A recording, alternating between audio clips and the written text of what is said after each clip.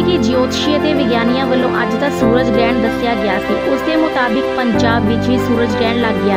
ਜੋ ਤਸਵੀਰਾਂ ਤੁਸੀਂ ਦੇਖ ਰਹੇ ਹੋ, ਇਹ ਤਾਜ਼ੀਆਂ ਤਸਵੀਰਾਂ ਹਨ ਲੁਧਿਆਣਾ ਸ਼ਹਿਰ ਦੀਆਂ, ਜੋ KDT ਨਿਊਜ਼ ਵੱਲੋਂ ਕੈਮਰੇ ਵਿੱਚ ਰਿਕਾਰਡ ਕੀਤੀਆਂ ਗਈਆਂ ਹਨ। ਸੂਰਜ ਗ੍ਰਹਿਣ ਲੱਗ ਚੁੱਕਿਆ ਹੈ। ਤੁਸੀਂ ਦੇਖ ਰਹੇ ਹੋ ਲੁਧਿਆਣੇ ਦੀਆਂ ਤਾਜ਼ੀਆਂ ਤਸਵੀਰਾਂ। ਹਨੇਰਾ ਭਾਵੇਂ ਨਹੀਂ ਹੋਇਆ, ਪਰ ਗ੍ਰਹਿਣ ਸ਼ੁਰੂ ਹੋ ਚੁੱਕਿਆ ਹੈ। ਦੱਸਿਆ ਜਾ ਰਿਹਾ ਹੈ ਕਿ 500 ਸਾਲ ਬਾਅਦ ਇਹ ਗ੍ਰਹਿਣ ਲੱਗਿਆ ਹੈ। ਤਸਵੀਰਾਂ ਤੁਸੀਂ ਦੇਖ ਸਕਦੇ ਹੋ, ਸੂਰਜ ਦੇ ਉੱਪਰ ਸੱਜੇ ਪਾਸੇ ਤੋਂ ਗ੍ਰਹਿਣ ਸ਼ੁਰੂ ਹੋਇਆ ਹੈ। 5 ਘੰਟੇ 49 ਮਿੰਟ ਤੱਕ ਦਾ ਗ੍ਰਹਿਣ ਦੱਸਿਆ ਜਾ ਰਿਹਾ ਹੈ।